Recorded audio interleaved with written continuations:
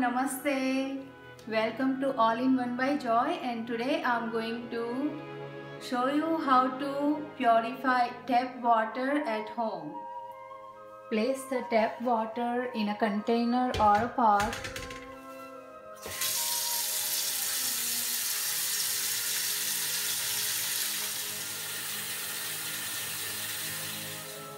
Now place the water on a stove top and heat on a high flame.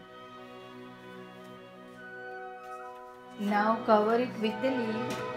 When water boils, any organism that may have been living in it will be killed and it also removes some chemicals. You can see it's bubbling. When bubbles begins to appear, it means the water is starting to boil. But continuous heating until the water goes into a hard rolling boil. So cover lid and let it boil.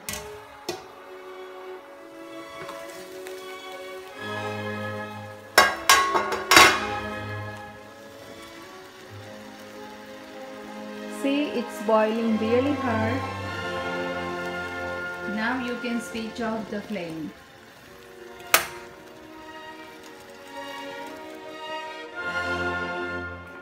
Now remove this container from the stove top.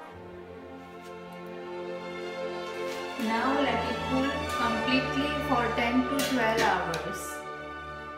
The water is sitting for 10 to 12 hours. Now we are going to strain the water with cotton cloth or any strainer.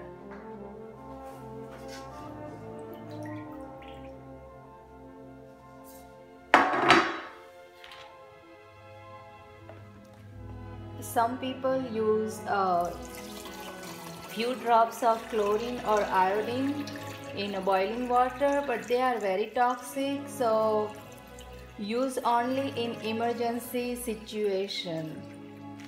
Now cover it with the lid and enjoy your purified water.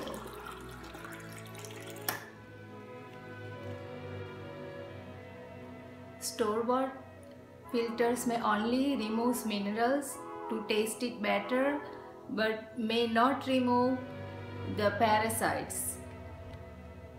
So please give it a try and let me know how you like it and if you like it please give a big thumbs up and subscribe to my channel. Thank you. Bye.